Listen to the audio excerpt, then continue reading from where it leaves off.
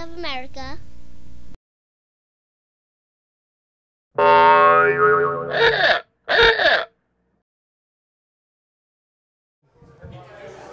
My name's Tom, and uh, I have to turn around and make a few statements for uh, we the people.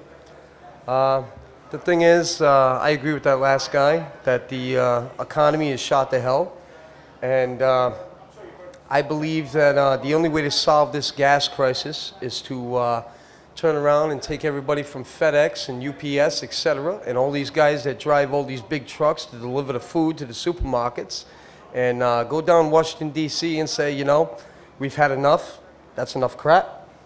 And uh, to turn around and say, we're not going to deliver any mail. You know, the post office, uh, FedEx, nothing.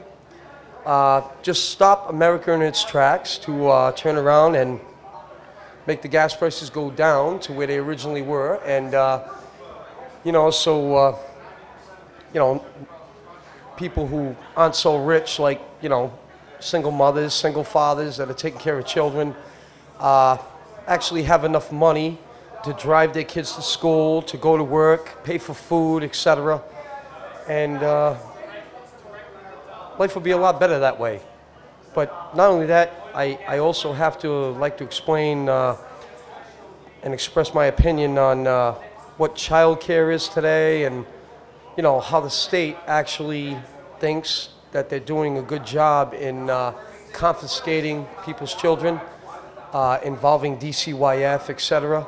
Uh, I had a very unpleasant experience recently where, uh, actually not recently, but two and a quarter years, somewhat, where uh, my child's mother temporarily signed the children over to the state, and uh, she thought it was temporary, but it's not temporary. It's only temporary if the state thinks it's temporary. And uh, in the process, they put me basically through hell. And uh, I turned around and completed every single requirement that DCYF required, and uh, they're basically putting me through more hell. And uh, in the process, my children's minds and the psychological aspect are getting quite ruined. And uh, I don't think it's fair because when there's a parent that loves a child so much, there's no need for someone else to say and have an opinion and say to you that we're going to take your children when you're not the one that signed them over. The mother's the one who did that. And the thing is, I'm willing to do anything for my children, and I've always been there diapers, wipes, binkies, etc. Food. I've, I've done everything for my children. They have a nice place to go to live with me, etc. And uh, they basically put me through hell, and uh, I'm doing the best thing in the world and trying not to overwhelm myself in every aspect. And uh, I just believe that 90% of the people in the world that don't have a problem have a problem keeping it that way.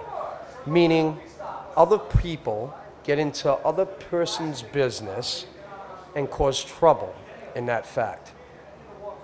Someone who's jealous will always cause a problem with a person that has no problem whatsoever.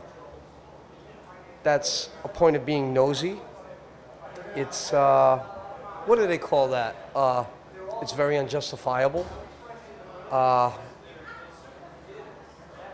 I really don't know the word to tell you the truth, but I really don't want to take too much time on the camera. And uh, I believe that, let's get back to the uh, gas situation. I believe that if everyone actually understood about what's happening to America, they'll take America back by not doing anything, just freezing and seeing what the government will do about that. Because they can't arrest everybody. And everybody has to make a decision if they're actually going to combine together in unity and democracy or they're going to let the Republicans take it over. And that's actually wrong because it'll ruin our lives. It'll end up turning into Mad Max. People will be stealing and breaking into people's houses for a loaf of bread. I mean, it, it's going to be total chaos, people. And everybody has to understand what they're doing, what society is becoming. I mean, education, what it costs to send a child to school today, isn't really paying off because they're going to turn around and hire some person from a different country that's willing to work for $3 an hour, and your child already passed all the education courses, and they're out there to make $13, $18 an hour, and you got all these other people from different countries that to work for three, so your kid's going to end up nowhere. So do you really think college is worth it?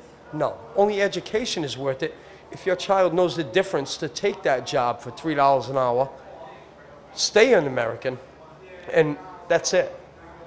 I mean, totally expunge the thought of having other people come to this country and taking everything that we ever fought for. Thank you. My name's Tom. Thank you.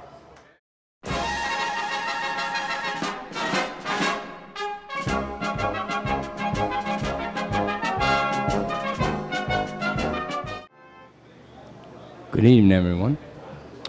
Kenny from East Providence, and everybody. Just got one thing to say.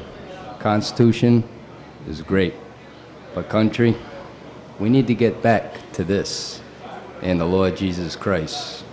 What your view is on who's God? Hey, it's a First Amendment right, Second Amendment right. I mean, First Amendment right. Apologies.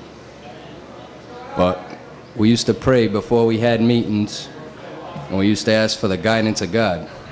People, we need to get back to this word. Amen. Good evening. The truth is out there, and I have a public access show on Channel 13, statewide in- Interconnect A, Channel 13 on Sundays at 11:30 a.m. and Tuesday nights 11 p.m. And I talk about things like this: the Constitution, Bill of Rights, things that are really important to myself and should be important to all Americans. And tune in. That's Sundays at 11:30 a.m., Tuesday nights at 11 p.m. on channel 13 on Cox Cable. Freedom! This concludes this program broadcast. We the People, a freedom of speech television show. Go to www.wethepeopleofri.org.